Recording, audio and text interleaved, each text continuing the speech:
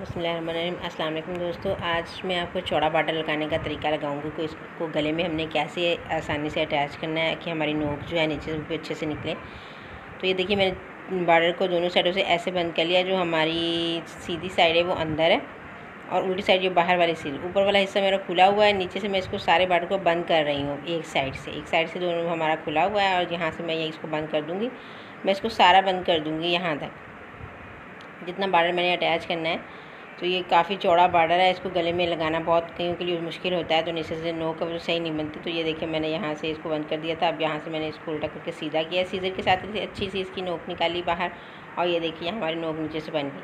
अब यहाँ से मैं दोनों साइडों से आयरन कर लेती हूँ, फिर मैं आपको आयरन करने के बाद दिखाती हूँ। ये देखिए, मैंने दोनों साइडों से आयरन इसको कर लिया। अब चाहें तो आप यहाँ से दोनों बाहर वाली साइडों पे लेस भी अटैच कर सकती हैं, या तो ऐसे भी लगा सकती हैं। मैंने इसको ऐसे ही लगाया है।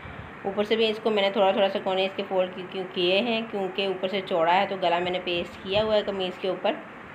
तो गला से बाहर जो है हमारा वो बार्डर जो ना निकले, इसलिए मैंने ऊपर से भी कोनों में से थोड़ा थोड़ा जो बार्डर है वो फोल्ड कर लिया है। अब इसको बड़ी आसानी के साथ हमसे यहाँ से लगा देंगे। देखिए, बिल्कुल भी मुश्किल नहीं है इसको लगाने के लिए, बड़ी आसानी के साथ और सेंटर में मैंने एक सिलाई लगा ली है। अब इसको दोनों साइडों पर से ऐसे मोड़ के हमारी क्रेज़ जो बनी हुई है पहले से ही इसके ऊपर ये गला हमने, मैंने पेस्ट कर देना है। बहुत ही ज़्यादा आसान तरीका मैंने आपको बताया है। तो अगर बस आप मेरे चैनल पे न्यू हैं, अभी तक आपने मेरे चैनल को सब्सक्राइब नहीं किया तो प्लीज़ प्लीज़ आपसे जो खास है कि मेरे चैनल को सब्सक्राइब ज़रूर कीजिएगा।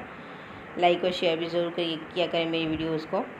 तो ये देखिए गला हमने रेडी कर लिया और ये बहुत प्यारा लग रहा है, ये ऐसे गला से बनाना है। आप यहाँ पे एज यू विश जो भी आपको अच्छा लगे, आप सेंटर में यहाँ पे लगा दें। ओके अल्लाह हाफिज़।